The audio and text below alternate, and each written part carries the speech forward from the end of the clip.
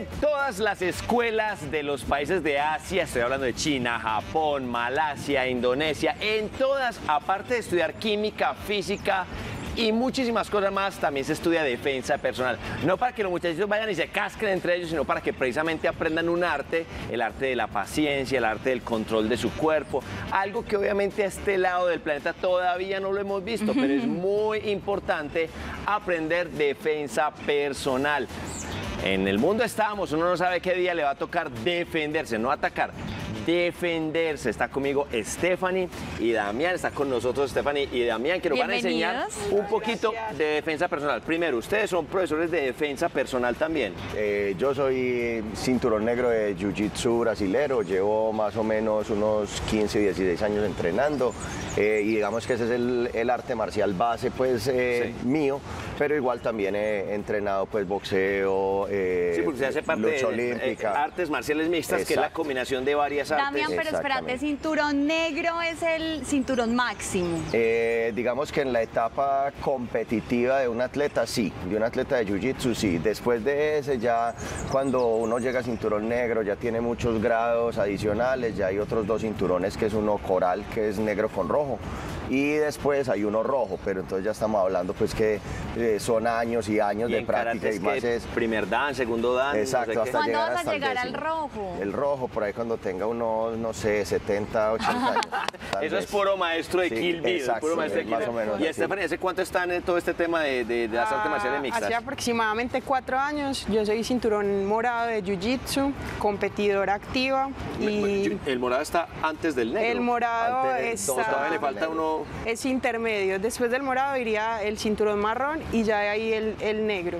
Quiero aprender la escala de colores. ¿Cuál es el primero? blanco, el blanquito. Blanco, yo hice, azul. Yo hice hasta, hasta, azul. No, yo hice hasta azul. Sí, tú eres cinturón azul. No, pero cuando era un niño ya me olvidó todo, obviamente. Entonces, blanco. Azul, morado, café y negro. ¿Amarillo no hay? En karate, en, ah, sí. en otras, y en, ese, em, en la categoría juvenil también hay, pues, eh, hay otros cinturones para los, para los más pequeños y para los jóvenes. Buenísimo. Pero es súper bonito porque, por ejemplo, yo me acuerdo que para uno pasar de cinturón había que aprender unas cosas que se llamaban las catas, que uno tenía que ir haciendo unas figuras y uno se sentía como karate kid. No, eso era una, una, cosa maravillosa. El jiu-jitsu es un poquito, digamos que también por eso ha sido la popularidad del jiu-jitsu, digamos, en el mundo de la mano de las artes marciales y la defensa personal, porque el jiu-jitsu no utiliza golpes.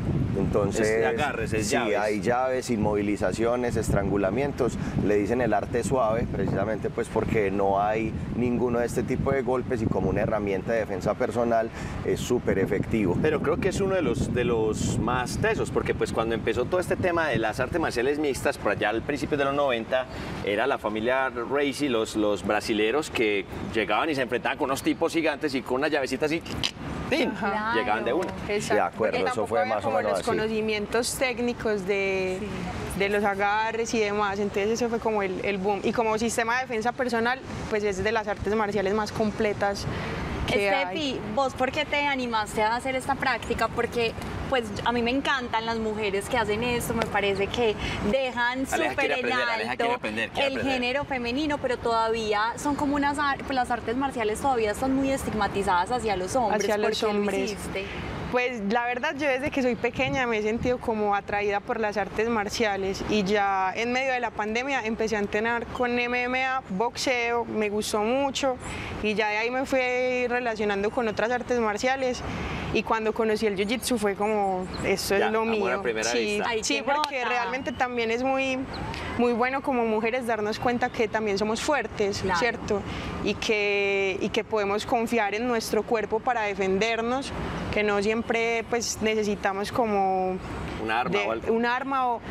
Sí, obviamente eh, en, el, en, el, en, la práctica del deporte pues no todas tenemos como el objetivo de pelear, como es mi caso, que soy competidora pero igual sí, solo el hecho de practicar te cambia como la forma de pensar y, la forma de demostrarte al mundo como más segura, más... Ya tú tienes confianza de que al menos vas a saber reaccionar con tu cuerpo, ¿cierto? No puede que no vas a salir a golpear a nadie, pero al menos te vas a asegurar que al menos voy a salir corriendo, listo, como que mi cuerpo al menos está condicionado para reaccionar, porque eso es lo que pasa muchas veces en nuestros cursos de defensa personal, que la gente no sabe ni siquiera cómo salir corriendo. Ah, no, a mí, yo, yo tengo la mejor técnica, véala No, pero es cierto, es cierto lo que no, dice pero es Tefa. real, porque no tienen como el conocimiento de su cuerpo. Es muy cierto. Incluso- ya llegó incluso nuestra modelo con la que vamos a hacer las demostraciones Ah, aquí. Ah, no, ah, es bueno, la que vamos a lanzar. Oiga, antes de que usted nos cuente los que nos iba a decir, imagínense que esta mujer hizo su debut y adivinen cuánto tiempo ganó la pelea. ¿Cuánto? 45 segundos. O sea, ¿De empezó la verdad? pelea, apenas estaban saludando y hasta ahí llegó. Hasta. Increíble, Steffi. Bueno, Gracias. ustedes vinieron a enseñarnos algunas cositas, obviamente, algunas cositas básicas de, de- de, pues, en la calle estamos, en cualquier momento puede pasar algo. Ustedes estaban diciendo que hay gente que ni siquiera sabe cómo correr, es que uno entonces cómo corre para ahuyentarse de una, de una No, a- atracada o qué, cómo es la cosa. No, a lo que a lo que voy es que, o sea, para hacer cualquier tipo de actividad física y más un deporte, uno tiene que haber cumplido, digamos, unas habilidades básicas que se deben tener en, Ajá, en la niñez y en la adolescencia, ¿cierto? Y lo que y lo que Aleja decía también como de la- de las chicas, pues desafortunadamente vivimos en una sociedad muy condicionada donde no solamente está como estigmatizado el hecho de que una chica vaya y entrene artes marciales, pelee y demás, sino que incluso con muchos deportes en general lo hacen, Sí, ¿cierto? claro, claro. Entonces, a veces esas, y no solamente mujeres, sino también hombres, o sea, también el- padre sobre, sobreprotectores, la misma pereza, los Que no la videojuegos, pegar a la niña, la las cara. pantallas, o sea, todo eso también hace como que esas habilidades de brincar, de salir corriendo, de estar gamineando, como decimos aquí con los niños, no se hayan desarrollado y que hasta correr se les dificulte, pues a eso es a lo que La yo me realidad refiero. es que las mujeres cuando salimos a la calle somos más vulnerables que los hombres. A mí me han atracado dos veces. De acuerdo. Con pistola, además. De acuerdo, yo, hay una parte importante en el curso que nosotros ofrecemos y es precisamente que el compromiso con la defensa personal arranca como desde esos estados de alerta que nosotros debemos tener. Y muchas veces, eh, a- o sea, no es como fortuito que siempre atracan al mismo amigo de uno, siempre la- la- la- esa persona es la que no se dio cuenta que pasó, la que todo el mundo salió y ella O sea, se ahí- quedó y en porque la no me calle lo primero avisaron. sería es a- aprender a estar alerta Exacto, de- eso es como el primer señales. compromiso con la defensa personal. Más allá, pues como que vamos a aprender 10.000 técnicas pues novedosas que nos van a salvar. Desde ahí arranca, desde ahí y el autocuidado también.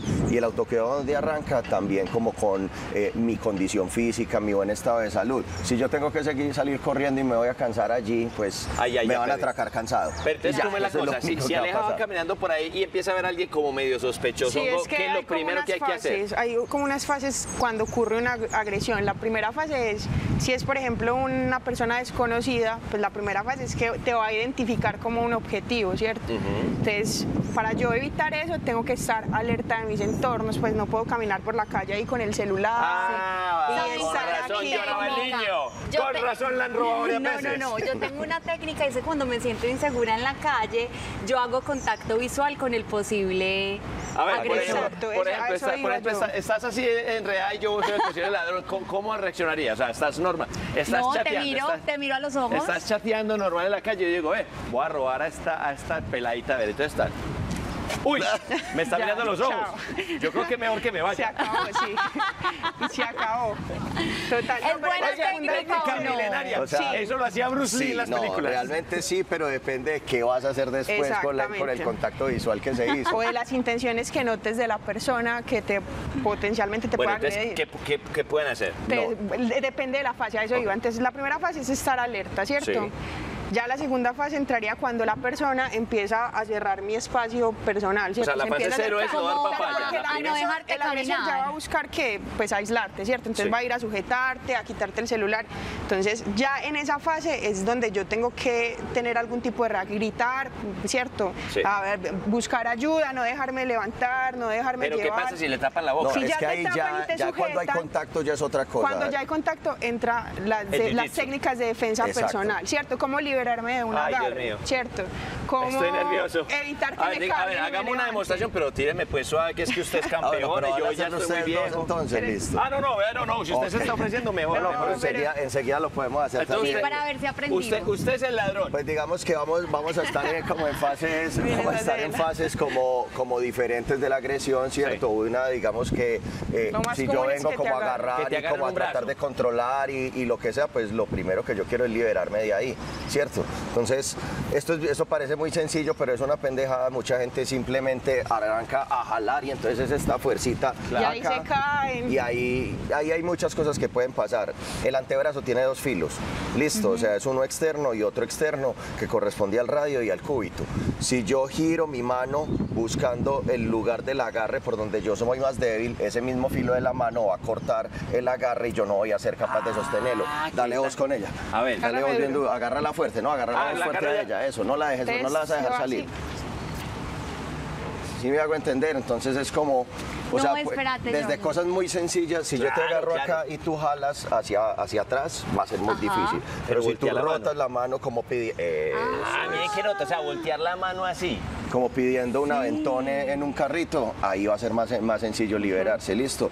Y Ah, así buena, buena, otras buena. situaciones difíciles, por ejemplo, yo la voy a cargar porque me la voy a llevar pues ya a- a, meterla a un carro o lo que sea, ahí ella puede asegurarme el pie tan por afuera y ahí pues yo no voy a tener fuerza para estar cargándole eternamente. Ah, pero vení, entonces es, es- es hacer como la... Enganchar. El ganchar. Eso es como la primera fase de, de la defensa, pues si yo la voy a cargar. Sí. O sea, vengo, ella engancha, no puede, y cuando aterrice, ella puede venir por mi pie, o puede venir, ahí me, me puede raspar, hay una llave de rodilla, o puede venir por una llave que se llama Kimura, que es para tratar de salir y romper mi agarre. Yo quiero que volvamos a hacer eso, pero despacio, despacio, porque es No, que... ya, ahí- si no lo vimos, no lo vamos a. No, no, porque es que no alcanzamos a verla completamente, venga. Yo voy a venir, ver, voy a eh, la- tra- Esa llave se llama una kimura. Sí, yo voy a tratar de ojo aquí, levantarla. ojo aquí, que aquí es donde pasa la acción, Aleja. Yo voy a tratar de levantarla con este agarre Entonces que se llama un primero voy a evitar esto, con el, con el enganche del Aquí, pie. con el de Listo. abajo. Ya que él no me levantó, voy a venir por la muñeca y esta mano va a entrar Por debajo. por debajo y agarro mi propia muñeca. Ajá. Ya de acá me voy hacia allá, hacia donde estoy con mi agarre Sí. y giro. ¿Lo vio Aleja? ¿Sabe cómo? ¿Lo vio? Venga, para que lo hagamos despacio. A ver.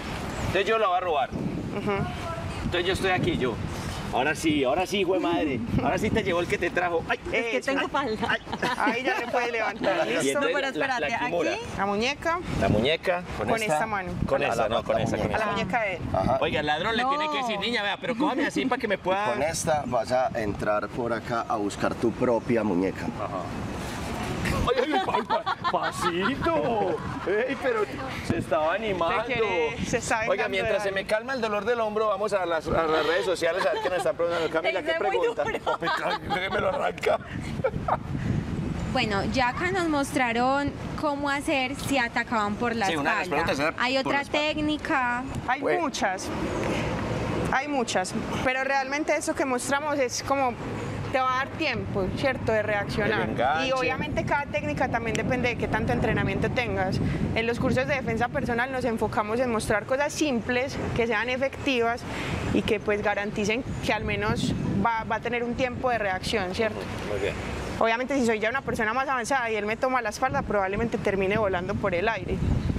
Pero ya depende de las condiciones físicas todo, que todo tengas. depende pues como de muchas situaciones y también como que sean, o sea, también este curso pretende que usted se sienta cómodo en ambientes seguros y la estadística pues lo que dice es que las agresiones la mayoría de las veces vienen a mujeres sobre todo, vienen es como de personas cercanas, ¿cierto? O sea, fami- desafortunadamente familiares, Claro, compañeros, claro, amigos, lo que sea, entonces digamos que también son situaciones en las que pues por eso no arrancamos pues como la defensa con un cuchillo aquí ni mucho menos porque precisamente para que yo llegue a ese estado tuve que haber violado un montón técnicas. de no y, y- y ese y lo que hablábamos ahorita de la fase de alerta de poder estar buscar ayuda o sea yo ya tuve que haber cometido una gran cantidad de errores para poder estar ahí ¿Qué más preguntas hay?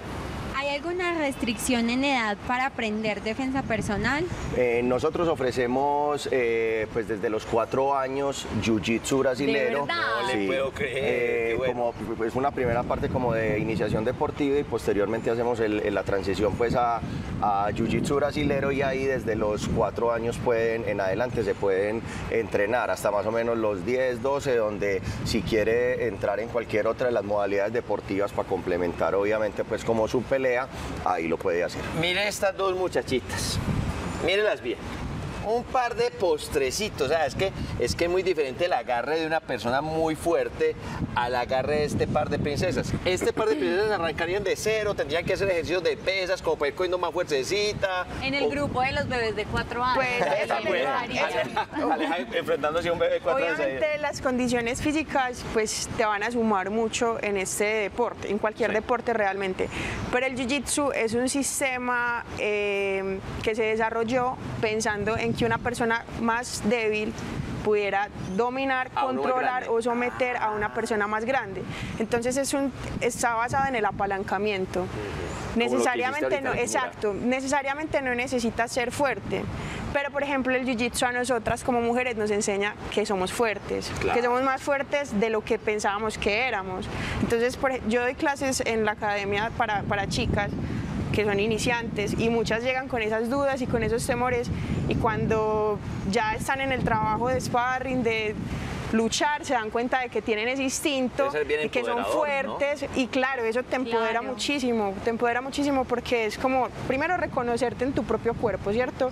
Y saber que, no sé, muchas veces somos como muy sexualizadas en nuestro cuerpo. Claro pero también es darnos cuenta de que puede ser un escudo o un arma en caso de, necesitarlo y eso, eso te cambia mucho como la, seguridad personal. ¿Qué y pasa, ese es el enfoque. ¿Qué pasa si el agarre ya está, o sea, si, si por ejemplo, perdón, perdón, si ya, ya está pero muy agarrada, ya aquí la tengo súper fuerte? Bueno, ah, ahí... No, no, no, pero, pero hágalo con él, hágalo con él. No, no, bueno, hay, hay, sí, o sea, hay maneras, Ella ya me como agarrando como... Que si no tengo, que si tengo pues esta llave como tipo mataleón sin ganchos, estoy allá, yo le, ella tiene toda su cadera libre para allá, ella podría salir, barrerme, hacer un volteo de cadera por ese lado, también podríamos, o sea, podría incluso estar aquí, abrirse espacio, ah, sacar, poner aquí la, la, mano y me la llevo al fondo o la puedo sacar como, como te voy a mostrar, por encima sacando la cadera, o sea, a levantarla, a proyectarla al lado de allá. O sea, hay opciones, pero todo ya depende del nivel, ¿cierto? o sea, digamos que si es un practicante pues de jiu-jitsu que sabe, no va a pegar una llave pues como de esa manera. Si es una persona que no sepa, también esto es una situación súper común. Ah, esta, esta, sí, la llave, me, la hicieron en el colegio por ahí 10 años seguidos. Esa nosotros le decimos la, me rompió la nariz. Nosotros le decimos la llave de portero. Era un idiota en el colegio.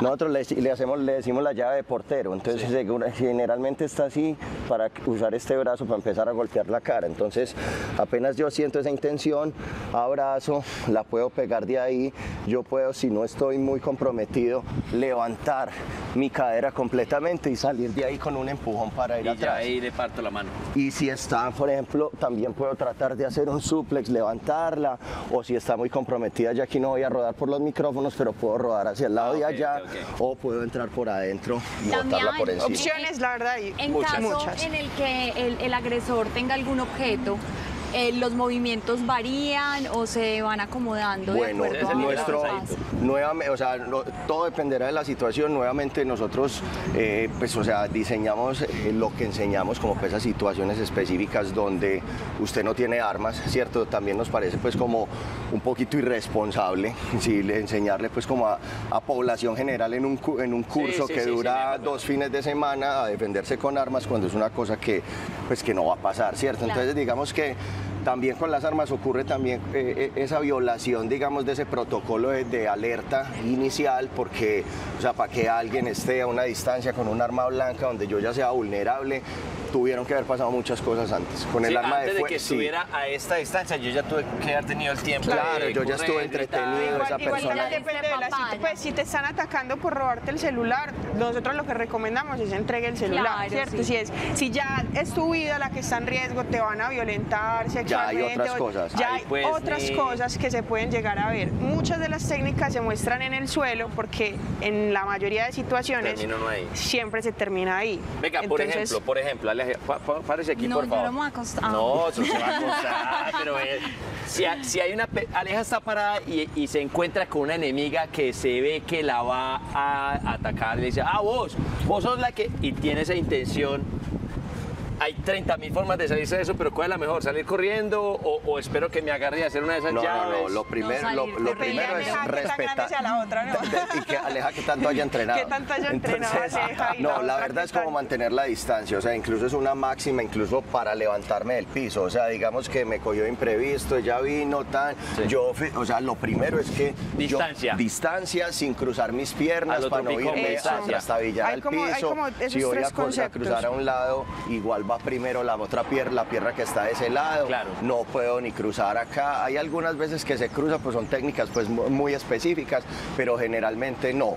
O sea, generalmente es mantener la distancia, una distancia prudente, el primer el contacto visual, el contacto verbal, ven y qué pasó, solucionemos esto. O sea, lo primero es. Mi pero me encanta, me encanta que ustedes no van inmediatamente, no, entonces usted llegue y le rompe la nariz, no, sino que lo primero es lo que todo mundo haría. Venga, tratemos a ver qué es lo que pasó, etcétera, etcétera. Eso me parece muy, muy bueno. ¿Alguna vez ha sido víctima de algún tipo de agresión?